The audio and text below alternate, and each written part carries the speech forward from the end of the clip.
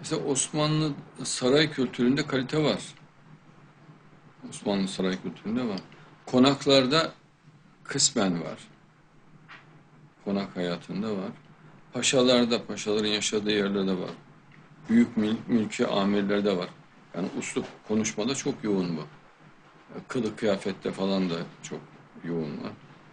Ee, Osmanlı paşalarına falan baktığımızda kaliteye çok önem verdiklerini görüyoruz. Ama kalitede tabii işin doğrusu e, acı bir gerçek ama İngilizlerden çok etkilendiler. Yani kılık kıyafet, yeme içme adabı olarak. E, mesela Atatürk'ün kişiliğinde hem Osmanlı sarayı da vardır. E, İngiliz görgüsü kalitesi de vardır.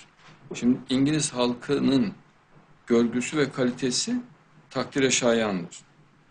Ama İngilizlerin devletinin züppeliği, ahlaksızlığı, insanlara üstten bakması çok iğrenç tabii, çok çirkin. Yoksa tabii ki mesela bir Fransız kalitesi, İtalyan kalitesi ayrıdır. Ee, İtalyan sanat anlayışı çok mükemmel bir e, felsefeye dayanır. Ee, seçtikleri renkler, eski binalar, eski bina. Eski binanın bir kalitesi vardır. Ama bir öküz için eski bina hemen yıkılıp yerine betondan böyle e, efendim çiğ renklerde boyanmış bir bina gerekir. Mesela görgüsüz onu anlamaz.